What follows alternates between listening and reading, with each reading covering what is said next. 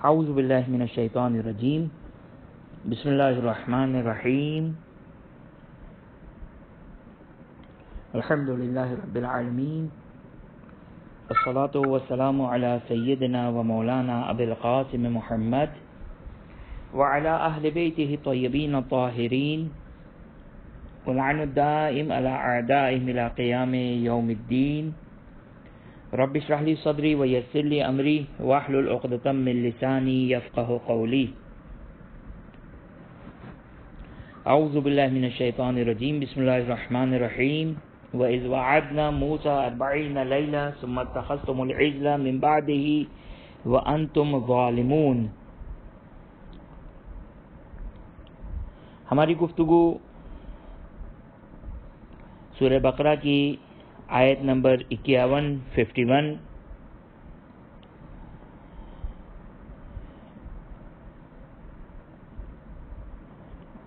Fifty तक मुकम्मल हो चुकी थी। सूर्य बकरा की आयत नंबर फिफ्टी वन व इज़ वादना मूसा। ये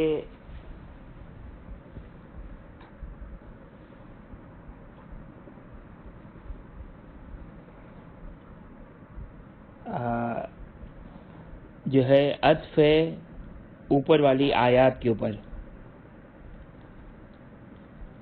या बनी इसराइल अस्कुरु नमती अल्लती अनअमत अलैकुम व अन्नी फजलतुकुम अलल आलमीन। यानी ए बनी इसराइल, याद करो मेरी नेमतों को। मेरी नेमतों को याद करो जो हमने तुम पर नाजिल की। और फिर एक एक नेमतों का तस्करा हुआ। इन्हीं नेमतों में से ये आयत आयत नंबर 51 व इज़ वादना मूसा अरबईन लैला। कि जब हमने मूसा इस्लाम से चालीस रातों का वादा लिया तो तुमने उनके बाद गौशाला इख्तियार किया।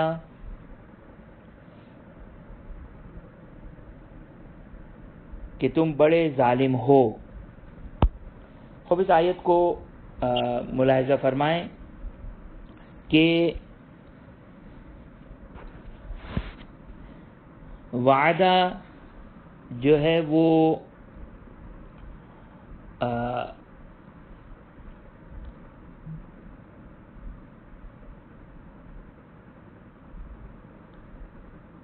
किस माना के लिए इस्तेमाल होता है किन किन माना के लिए इस्तेमाल होता है, वो आपकी खिदमत में ज़रा बयान करें कि वादे का मतलब क्या होता है?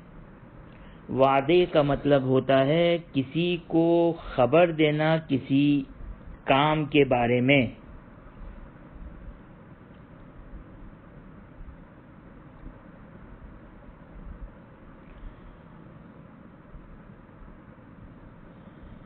वादा, यानी आप खबर दें किसी को, किसी काम के बारे में, किसी चीज़ के बारे में,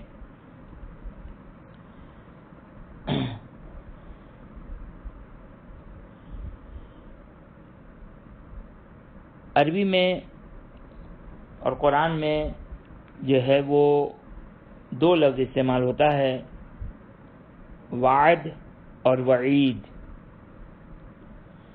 वाद शर और खैर दोनों के लिए इस्तेमाल होता है, लेकिन वईद जो है वो सिर्फ़ और सिर्फ़ शर और बुराई और बुरी चीज़ के बारे में, जिसको हम कहते हैं डराना। वादा यानी खुशखबरी देना वादा फिल खैर यानी खुशखबरी देना वईद यानी डराना बुरी खबर देना यानी खुदावंद मुताल ने जहाँ जहाँ कुरान में जहन्नुम से डराया है उसे वईद कहते हैं वईद कहते हैं लेकिन वादा जो है वो दोनों के लिए इस्तेमाल होता है जैसे कुरान की आयत आउज़बिल्लामिनशैतानरजीम बिस्मिल्लाहिर्रहमानिर्रहीम अन्नारो वादहल्लाहुल्लज़ीना कफरू अन्नारो जहन्नुम का खुदावंद मुताल ने वादा किया है, वाद अल्लजीना उन लोगों से कि जिन्होंने कुफ्र इख्तियार किया। तो कुरान की इस आयत में वादा आया है, वईद नहीं आया है। तो जो फरमाया आपने? खूब। ये जो वादा है, ये वाद के लिए भी वाद के लफ्ज़ के साथ भी इस्तेमाल होता है मवद के मानों में भी इस्तेमाल होता है, वईद एदा मवदा ये सारे के सारे मसादिर हैं जो मिलते जुलते माना के लिए इस्तेमाल होता है।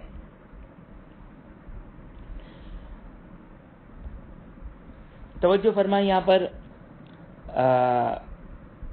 वादा अल्लामा तबरसी फरमाते हैं कि कभी कभार एक मफूल के साथ आता है, कभी कभार दो मफूल के साथ आता है।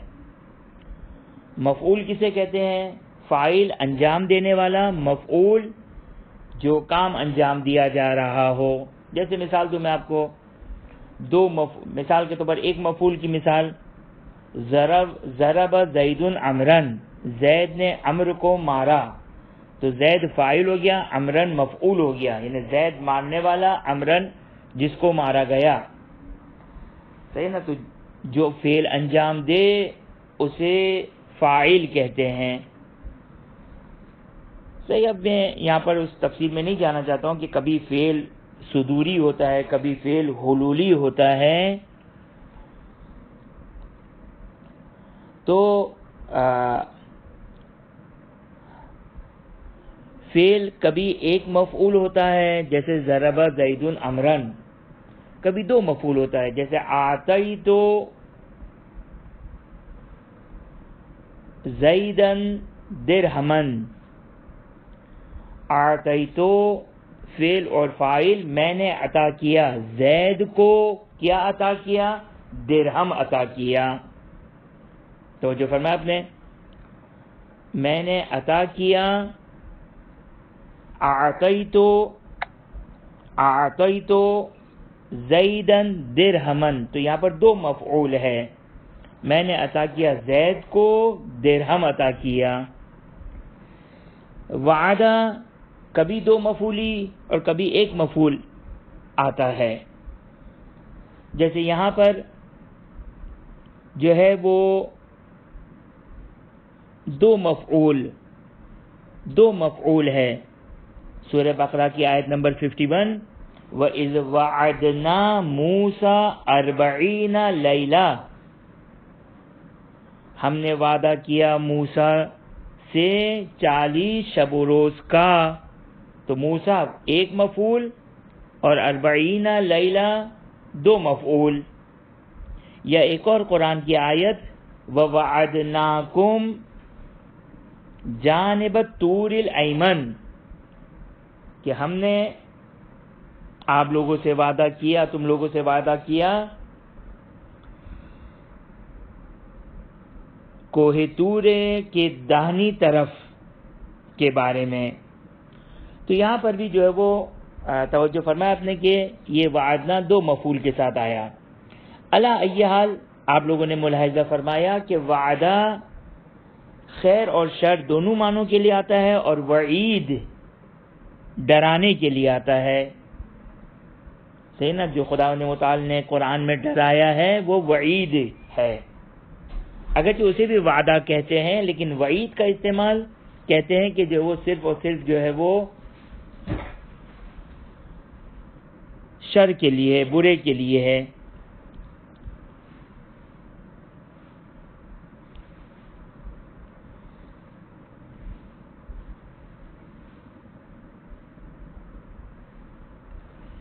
बस वादे की डेफिनेशन तवज्जो करें वापस से। वादे की डेफिनेशन क्या है? वादे की डेफिनेशन ये है कि खबर देना किसी अच्छे चीज़ की, किसी अच्छी चीज़ की या किसी बुरी चीज़ की के किसी अच्छी चीज़ की या किसी बुरी चीज़ की जो पहुंचेगी फ्यूचर में, मुस्तकबिल में इसको वादा कहते हैं। मूसा, चूँकि इस आयत में लफ्ज मूसा आया है, कहते मूसा जो है वो दो लफ्जों से मुरकब हैं, मूसा। मुँह और सा। मुँह का मतलब पानी और सा का मतलब कहते हैं दरख्त। क्योंकि जब हज़रत मूसा अला नबीना व आलही वसलाम को जब ताबूत में रखा था उनकी वालदा ने तो जब ताबूत में रखा था तो चूँकि जनाब आसिया फिरौन की जौजा ने जब हज़रत मूसा को पाया तो पानी और दरख्त के गिर्द पाया था। पानी में थे और दरख्त के साय में थे। तो इस वजह से हज़रत मूसा को मूसा कहा कि मुँह का मतलब पानी और सा का मतलब दरख्त। अब ये बयान किया गया मूसा के लफ्जी माना।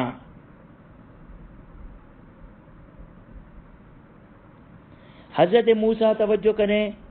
हज़रत मूसा का जो शजरा है, वो जनाबे मूसा इब्न इमरान हज़रत याकूब के,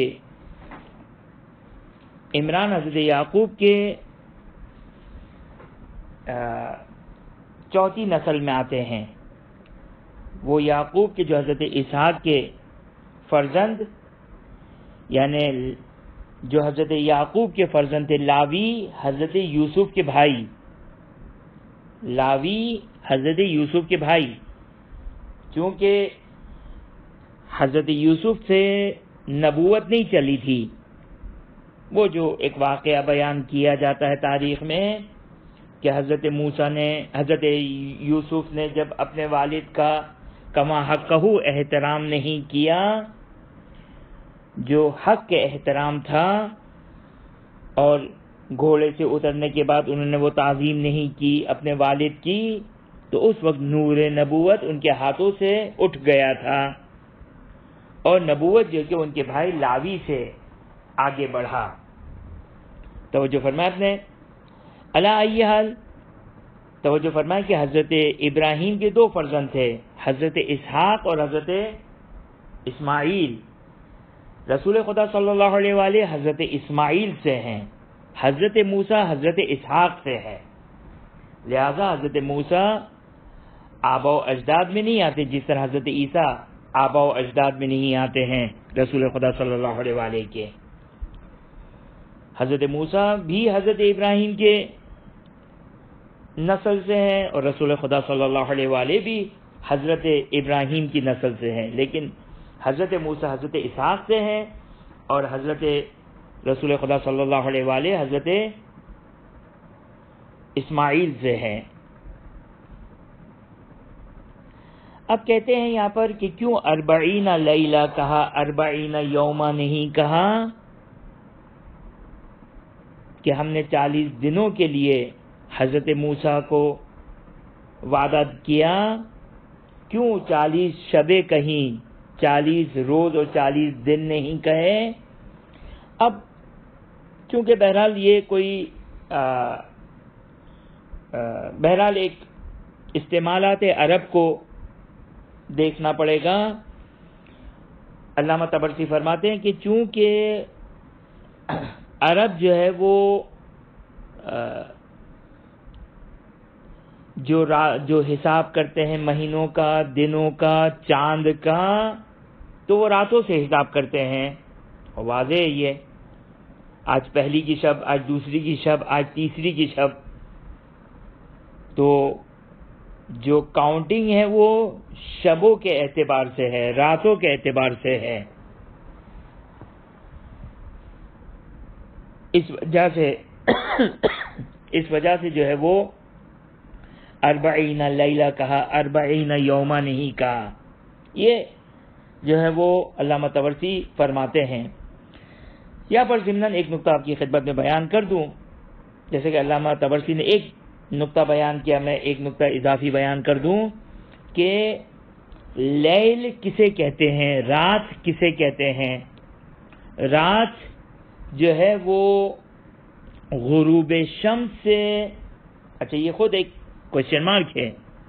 गुरूब शम्स या वो मगरब शरी, ये ज़ाहिर फ़ुकहा के दरमियान रिवायतों की बिना पर इख्तलाफ है और अहल सुन्नत के यहाँ इजमा हो शायद कि रात जो वो गुरूब आफ्ताब को कहते हैं सनसेट को कहते हैं।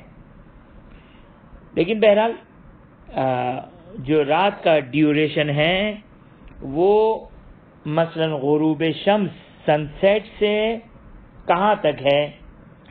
यानी स्टार्टिंग पॉइंट में भी इख्तलाफ है एंड पॉइंट में भी इख्तलाफ है फ़ोकहा के दरमियान कि रात कहाँ ख़त्म होती है।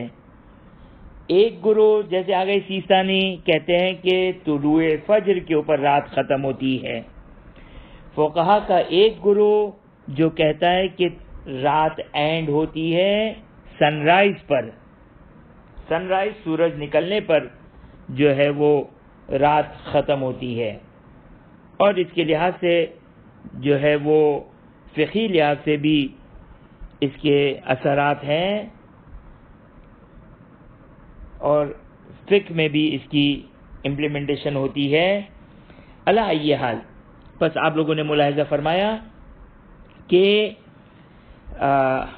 अरबईना वबादना मूसा अरबईना लैला।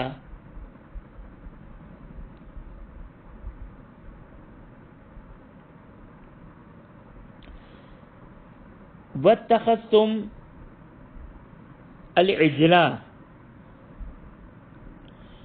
इजल वैसे तो इजल यहाँ पर जो है वो गाय के बच्चे के लिए इस्तेमाल हुआ है। हम उर्दू में कहते हैं, उर्दू में कम इस्तेमाल है, जो असल अरबी से आया है। जैसे हम दुआ करते हैं, ताजील फ़रज के लिए दुआ करना। ताजील का मतलब होता है जल्दी, उजलत, जल्दबाजी। यानी टाइम में कम मुद्दत को अजिल कहते हैं एन जीम, लाम, उजलत, ताजील, यानी टाइम पीरियड जितना कम हो जाए। तो ये उजलत यानी मुद्दत में टाइम ड्यूरेशन में कमी के लिए इस्तेमाल होता है। इस वजह से कि कसीर है, छोटा है, कम है टाइम जल्दी है। और गोशाला यानी गाय का बच्चा, चूँकि वो भी सगीर है, छोटा है, कसीर है, काफ, स्वाद, ये रे, कसीर यानी छोटा। कसीर ज़्यादा, कसीर काफ, इसीलिए नमाज़ कसर कहते हैं ना, नमाज़ कसर, नमाज़ तमाम के मुकाबले में। नमाज़ कसर, यानी जहाँ पर चार रकती, जो कि वो दो रकती हो जाती है, कम हो जाती है। तो कसर दर हकीकत कम के लिए है, काट देना, कम मुद्दत, छोटी मुद्दत, छोटी चीज़, छोटी मकदार, उसके लिए भी अजल इस्तेमाल होता है। तो चूँकि गाय का जो छोटी गाय है, जो बछड़ा है, उसको जो, जिसको हम उर्दू में गौशाला कहते हैं या फारसी में गौशाला कहते हैं, वो उसको इजल कहते हैं। इसीलिए इजल कहते हैं क्योंकि वो कसीर है, कम है। जिस तरह टाइम पीरियड अगर कम हो तो उजलत कहते हैं। अब यहाँ पर तवज्जो फरमाए कि यहाँ पर क्यों इजल, यानी इस गौशाले को इजल कहा? एक तो वजह ये बयान हुई। एक और वजह जो बयान हुई, बाज लोगों ने इस तरह बयान किया कि गौशाले को इजल इसलिए कहा कि इन लोगों ने जल्दी से इस गौशाले को की परस्तिश और खुदा बनाया, ताकि हज़रत मूसा के आने से पहले इस गौशाले की इबादत होना शुरू हो जाए। जल्दबाजी में ये काम किया। खूब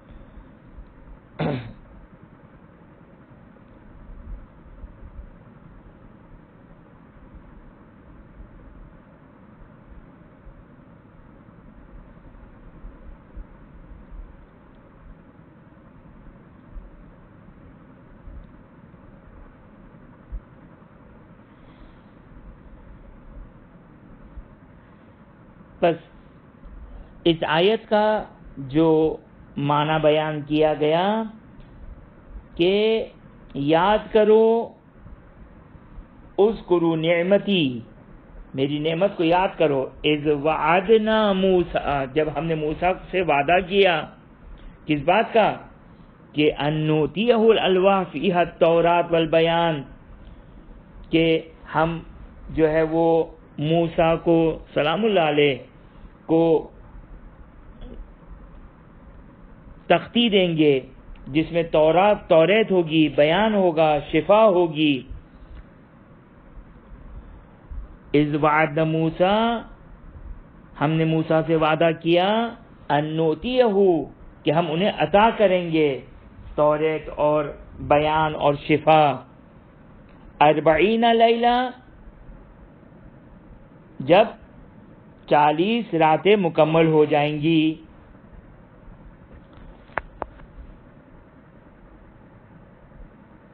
जैसे सूर्य आराफ में इस आयत को यूँ बयान किया है वाद न मूसा सलासीन लैला व अतममना बेअश्र.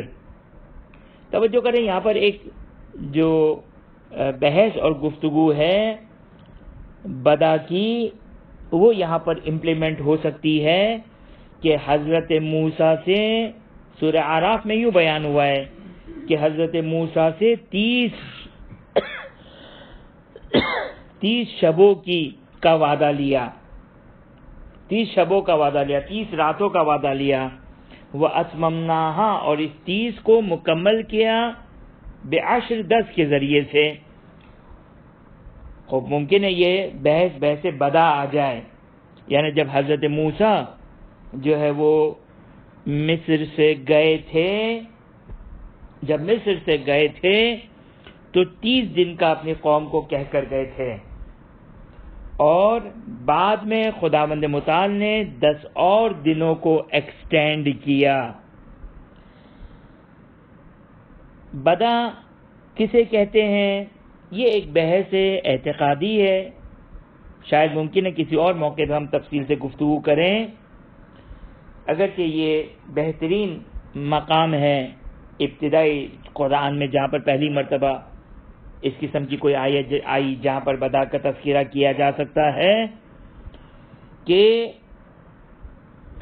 बदा का मतलब जो अहले सुन्नत, अहले तशी के ऊपर, अब ये अहले तशी गलत प्रोनाउंसिएशन है, लेकिन उर्दू में तशी कहते हैं, अहले तशैयो अहले तशैयो पर जो एक इल्ज़ाम लगाते हैं कि हम लोग बदा के कायल हैं और इल्ज़ाम लगाते हैं हम पर कि हम कहते हैं कि बदा यानि खुदा के लिए पहले एक चीज़ अननोन थी नामालूम थी खुदा नहीं जानता था और बाद में खुदा आगा हुआ मुतले हुआ जान लिया। नाउजुबिल्ला ये तो ये आ, जो है वो शियों के ऊपर इल्ज़ाम है कि शिया ये अकीदा रखते हैं बदा का अकीदा ये नहीं है।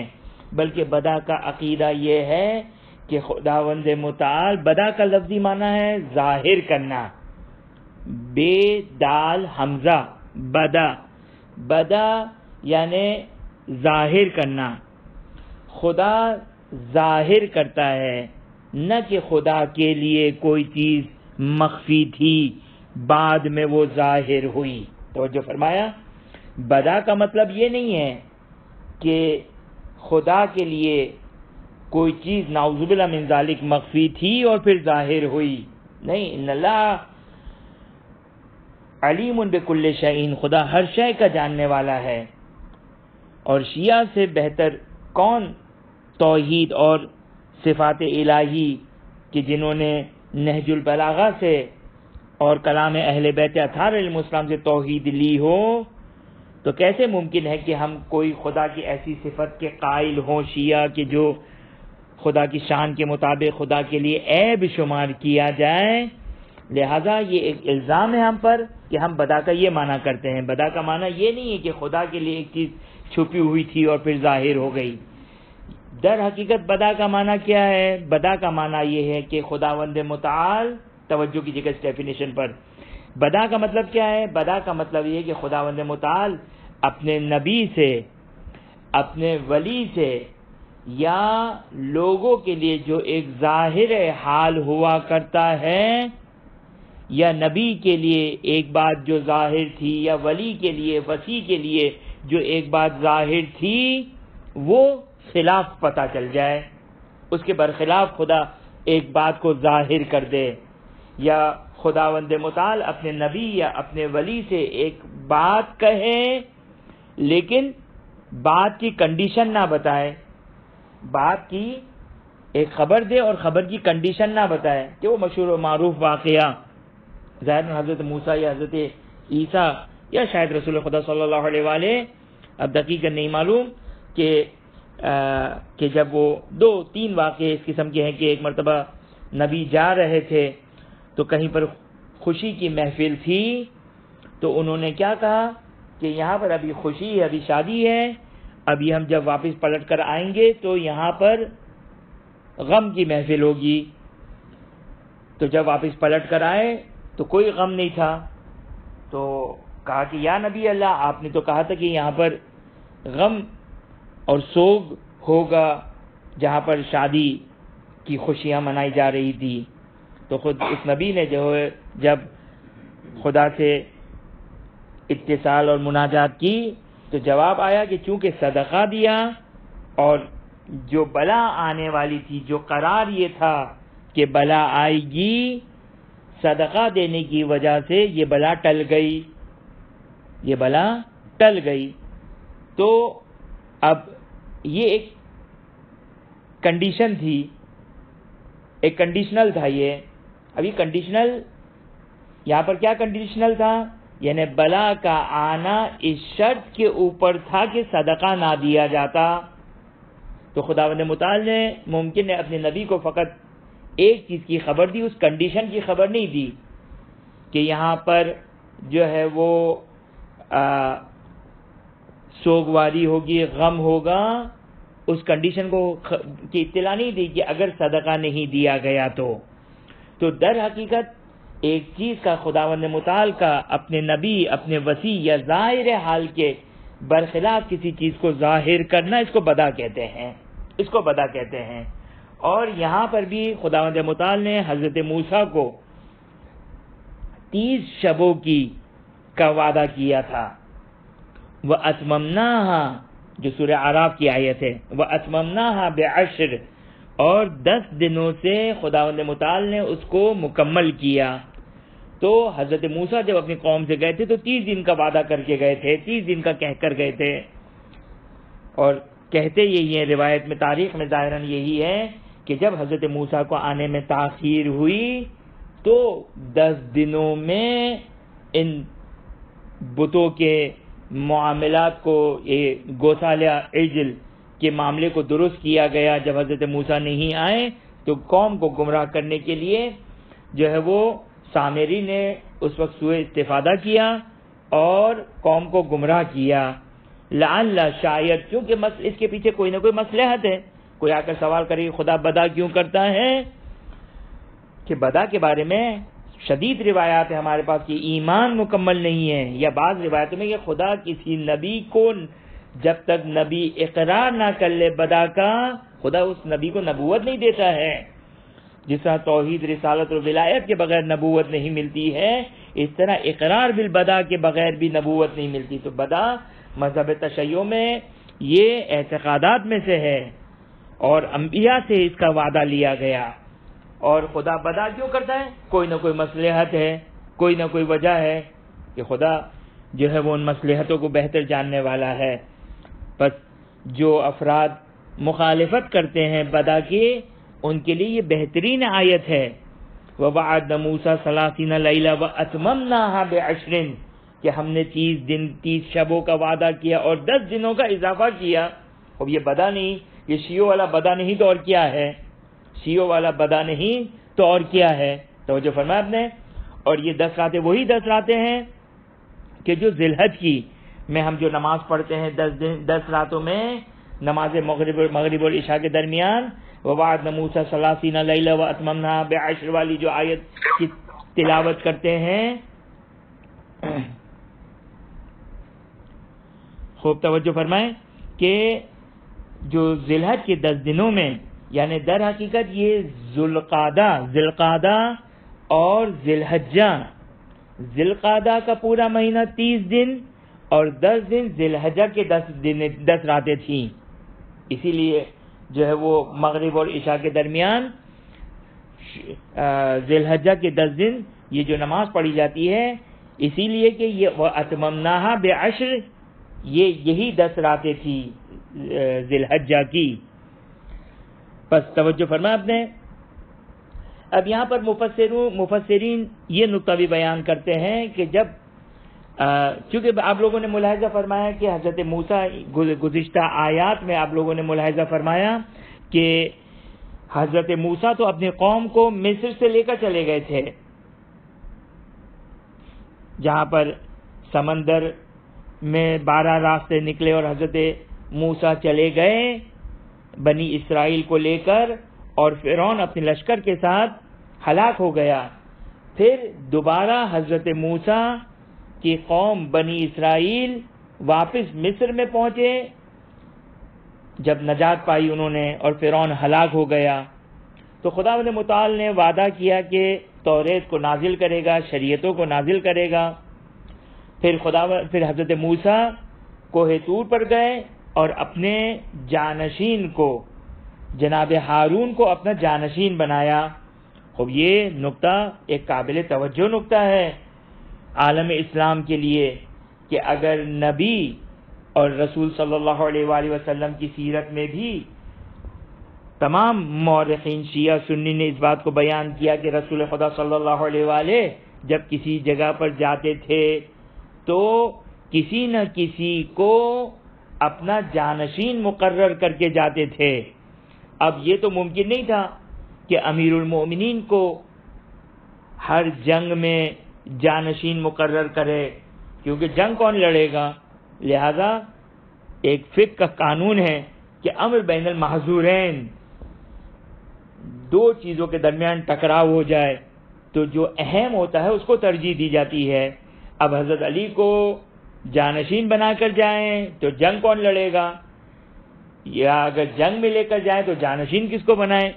लिहाजा रसूल खुदा सल्लल्लाहु अलैहि वसल्लम ने भी अमीरुल मोमिनीन को उस जंग में जानशीन बनाया कि जो जंग ही नहीं हुई थी और जिसमें वो मशहूर मारूफ जुमला रसूल खुदा सल्लल्लाहु अलैहि वसल्लम ने अमीरुल मोमिनीन अलैहिस्सलाम से फरमाया था कि अंत मिन्नी बे मंजिलत हारून मिन मूसा इल्ला अन्नहु ला नबी अबादी इल्ला अन्नहु ला नबी अबादी ये दर हकीकत जब अमीरुल मोमिन सलाम को एक जंग के लिए जब आप जा रहे थे तो अमीरुल मोमिन सलाम को मदीने में छोड़ कर गए थे, जानशीन बनाकर गए थे। बस ये जो मुसलमान कहते हैं कि रसूल सल्लल्लाहु अलैहि वसल्लम इस दुनिया से चले गए और किसी को जानशीन ना बनाया, अब ये न अकल में आने वाली बात है, न तारीख है।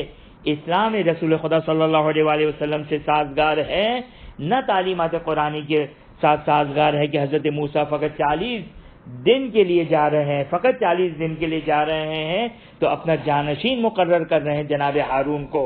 जनाब हारून को मुकर्र किया है। इसीलिए कराम कहते हैं कि जिस तरह रसूल खुदा सल्लल्लाहु अलैहि वसल्लम गए तो अमीरुल मोमिन सलाम को जानशीन बनाकर गए थे।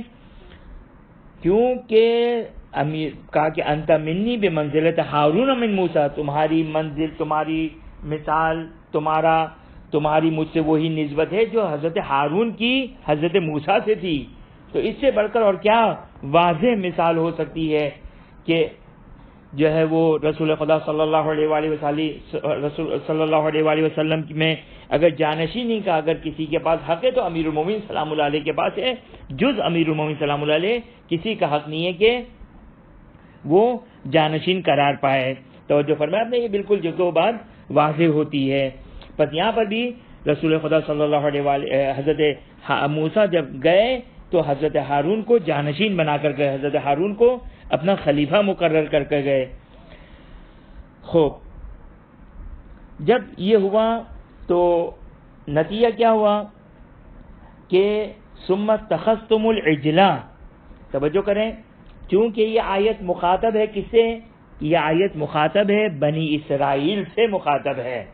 वबाद वबादना इज़, व इज़ वादना और ए बनी इसराइल, याद करो जब हमने मूसा से चालीस शबों का वादा लिया, और व तखस्तुमुल इजला व तखस्तुमुल इजला इतखजा यानी किसी चीज़ को अग्ज करना, किसी चीज़ को लेना, किसी चीज़ को लेना इतखजा किसी चीज़ को लेना।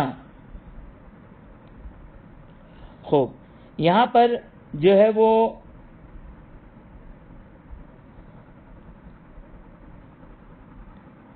खूब यहाँ पर दर हकीकत एक मफूल महजूफ है। ये आयत यूँ है। ये आयत यूँ है। व तखज तुमुल सुमत तखज तुमुल इजला एलाहन तो जो फरमाया आपने कि सुमत तखज तुमुल इजला इलाहन। तुम लोगों ने बनी इसराइल से मुखातब, कुरान की आयत, कि तुम लोगों ने अग्ज किया, इजल को क्या अग्ज किया? आया, यानी गौशाले को गोद लिया। नहीं, ये मुराद नहीं है। गौशाले को तुमने करार दिया, गौशाले को तुमने लिया इलाह के उनवान से। अब ये इलाहन अल्लाह तबरसी का कहना यह है कि ये दो मफूली है। मुमकिन है तमीज़ के उनवान से भी हो। अलाहाल जो है वो ज़्यादा हम इस बहस में नहीं पढ़ना चाहते। यहाँ पर तवज्जो करें कि जब हज़रत मूसा गए तो गौसाले को खुदा बना लिया।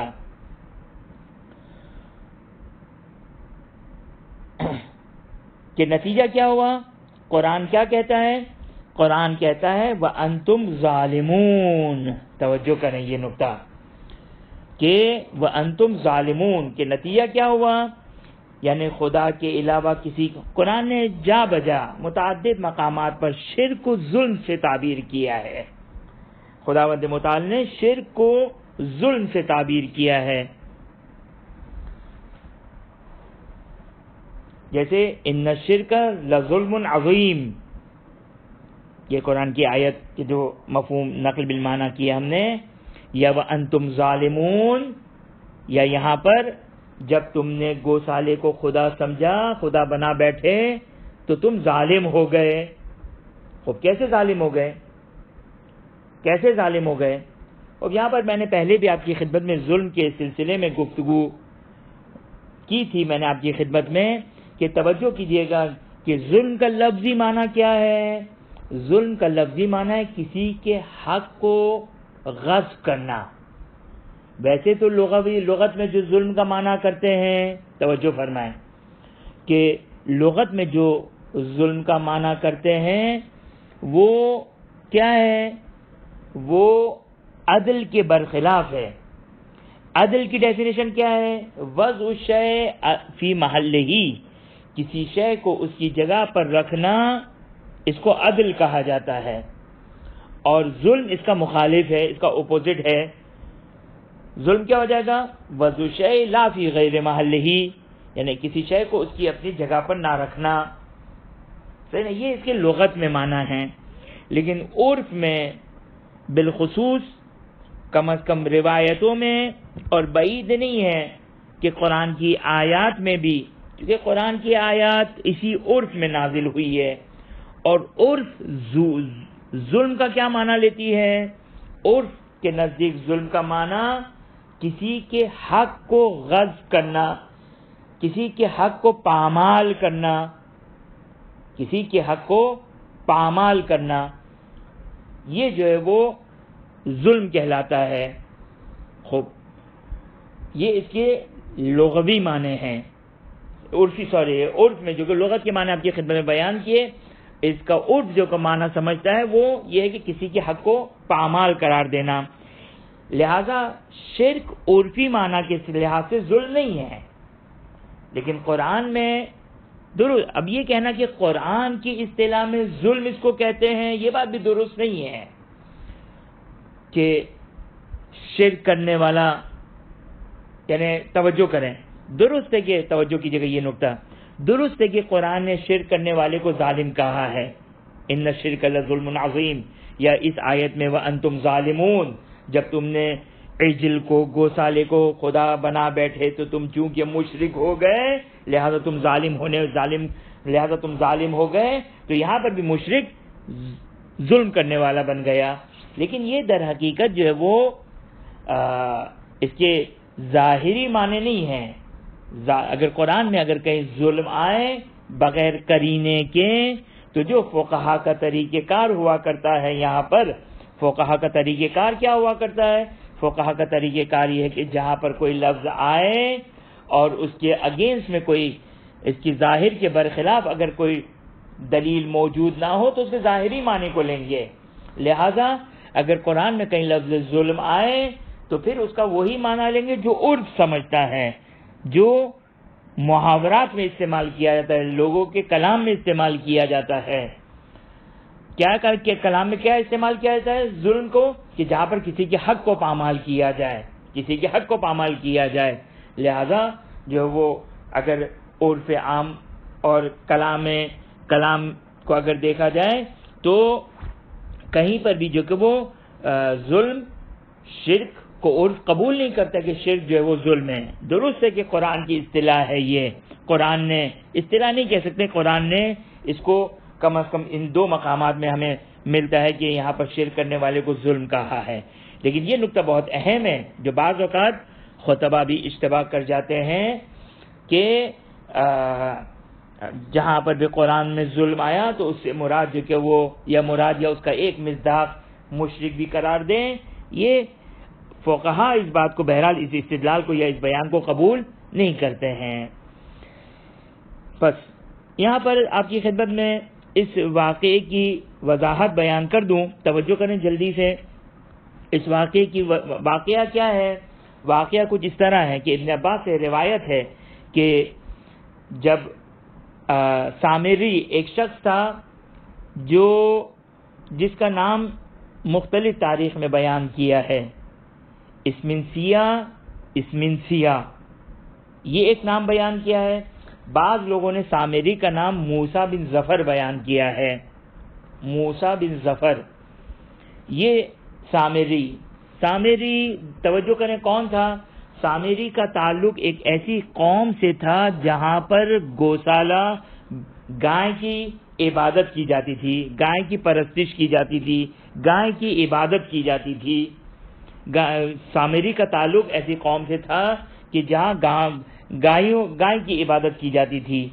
और खुद सामेरी भी जो कि वो गाय की इबादत से बड़ी मोहब्बत करता था। देखें ये एक बात नफसियाती तौर पर कि इंसान का बचपन, इंसान की जवानी, इंसान की एक ज़्यादा उम्र अगर किसी भी माहौल में गुजरती है तो इंसान उस माहौल की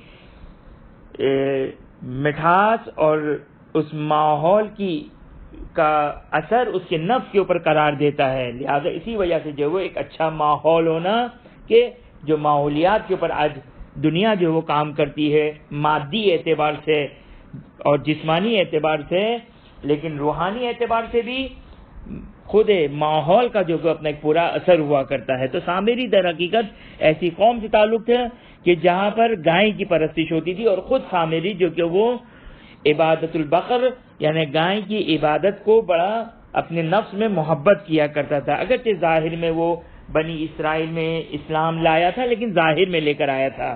जब हज़रत मूसा, तवज्जो कीजिएगा ये वाकया, हज़रत मूसा जब कोहेतूर पर गए और हज़रत हारून को बनी इसराइल में अपना खलीफा मुकर्र करके गए तो हज़रत हारून ने अपनी कौम से मुखातब होकर कहा, क्या कहा? कि हज़रत जो बनी इसराइल थे, जब वहाँ से आए थे फिरौन के लश्कर से, यानी जो वहाँ से, यानी मिस्र की, मिस्र से जो फरार किए थे तो कुछ सोना के जेवरात वगैरह, गोल्ड के जेवरात वगैरह, जो है वो जो आले फिरौन के पास थे, वो लेकर आए थे वो लोग। और वो दर हकीकत आले फिरौन, यानी फिरौन के लश्कर, आले फिरौन की तफसीर हम पहले बयान कर चुके हैं कि क्योंकि फिरौन का लश्कर अहले मिस्र से, जिनको किप्ती कहा जाता है, अहले मिस्र को किप्ती कहा जाता है, काफ बे तो अहले मिस्र जो है वो चूँकि जो फिरौन का लश्कर था, उन्होंने अहले मिस्र से ज़बरदस्ती या एरतन उधार सोना लिया और गब्ज कर लिया और वापस नहीं दिया। अब जब ये बनी इसराइल के कौम आई थी मिस्र छोड़कर तो वो इन जेवरात और इन सोन, इस सोने को जो आले फिरौन के पास था, ये लोग लेकर आ गए थे। तो हज़रत हारून ने कहा कि तुम इस, ये नजिस है, ये नजिस है, और तुम पाक हो जाओ इनसे, इन, इस सोने से, चूँकि ये गजबी है, किसी का माल है, लिहाजा तो ये नजिस है, तुम इससे पाक हो जाओ। तो चूँकि ये वो जेवरात था कि जिसको इन्होंने आले फिरौन ने इस्तारा उधार लिया हुआ था किप्तियों से और बाद में जुल्मन जो है वो उनको वापस नहीं किया था। तो हज़रत हारून ने एक आग, बड़ी सी आग भड़काई और इन लोगों से कहा कि तुम लोग अपने आप को इन जेवरात से, इन जो भी ये चीज़ें थी, इनसे अपने आप को पाक करो। तो कहा कि सब इस आग में इन जेवरात को और जो सोने की ये चीज़ें थी उसे डाल दो। जो भी तुम्हारे पास मौजूद है उसको इसमें डाल दो तो इससे तुम पाक हो जाओगे। तो अब पजालू यातूना बिमा काना माहुम मिन तिलकल अमत्या वल हली, वल हलिये या हलिये के फिर वो लोग आए और जो कि वो इस सामान को, इस सोने को, इस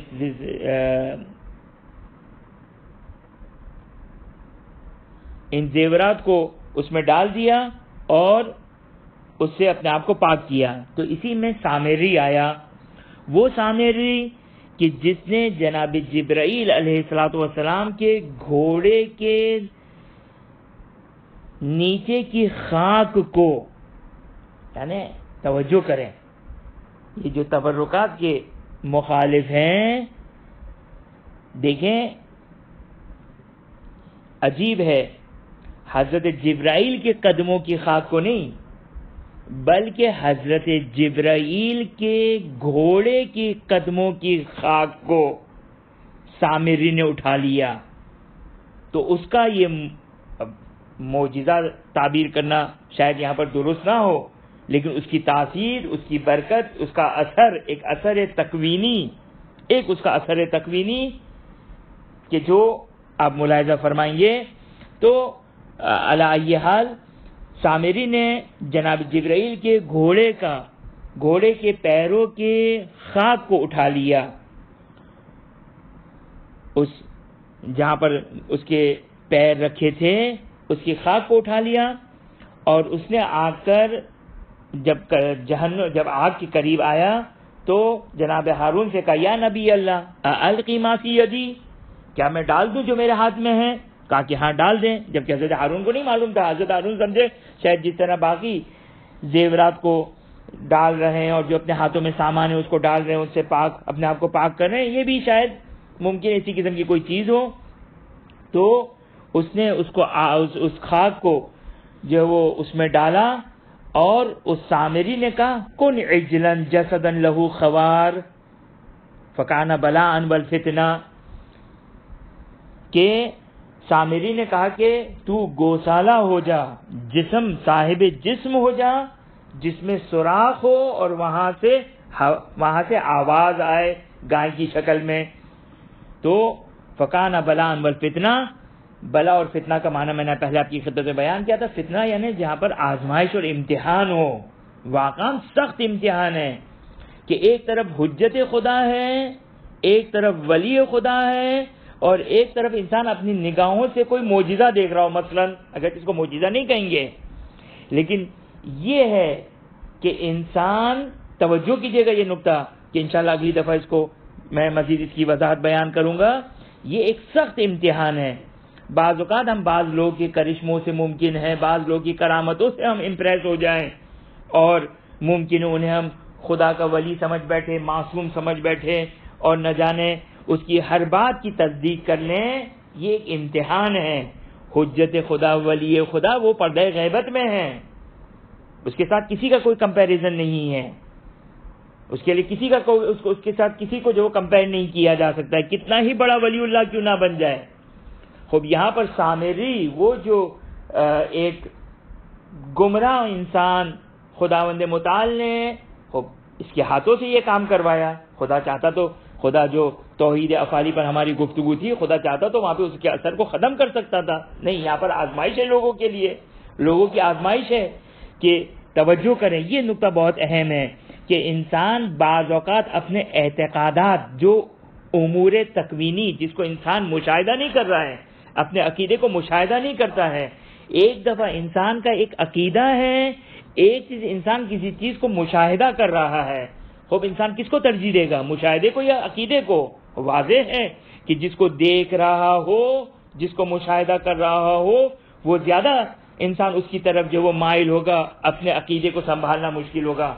यानी वाकान, ये कुरान की मिसाल एक इम्तिहान है, एक दर्द है हमारे लिए कि वहाँ पे बेचारे हज़रत हारून कोई मौजूदा नहीं दिखा रहे चाहते तो दिखा देते, लेकिन नहीं, ये आजमाइश है।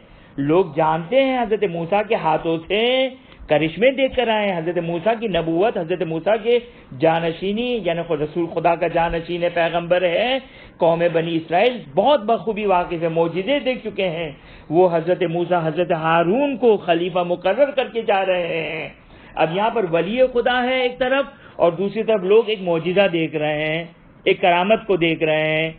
मौजूदा दुरुस्त नहीं, इंशाल्लाह मौजूदे पर अगली दफ़ा इंशाल्लाह गुफ्तु करूँगा, कि अपनी आँखों से एक करामत देख रहे हैं। खूब, ये एक शदीद इम्तिहान है, सख्त इम्तिहान है, एक सख्त इम्तिहान है। क्या इम्तिहान है? इम्तिहान ये है कि वली खुदा हजत खुदा की बात माने, या जो वो, जैसे इमाम जमाना अज्जल फरोज शरीफ के बारे में भी रिवायत है कि जब आप जहूर फरमाएँगे तो बाज लोगों को जो, जिनका जालिम होना, गासिब होना कोई शक नहीं है, खुदा, वो हज़रत हजत खुदा सलाम जब उन्हें एक सूखे दरख्त के ऊपर जब लटकाएँगे तो वो सरसब्ज हो जाएगा। खूब, अब ये इम्तिहान है। खूब, यहाँ पे देख रहे हैं अपने आँखों से मौजूदा हो गया। एक सूखा दरख्त जिनको हम ज़िंदगी भर लानत करते थे, उनके लटकाने की वजह वो सूखा दरख्त सरसब्ज हो गया। न कि सरसब्ज दरख्त सूख गया। नहीं, इम्तिहान है, आजमाइश है। और एक तरफ़ वली खुदा खड़ा है। ये है आजमाइश, ये है इम्तिहान। यहाँ पर भी जो वो बनी इसराइल की कौम की आजमाइश और इम्तिहान था कि इस वाक़े को भी अगली दफ़ा इंशाल्लाह मुकम्मल करेंगे और थोड़ी सी गुफ्तु इंशाल्लाह मोजीज़े के ऊपर भी इंशाल्लाह आने वाली गुफ्तु में करेंगे। वाखिर दावाना अनिलहमदिल्ला रबालमीन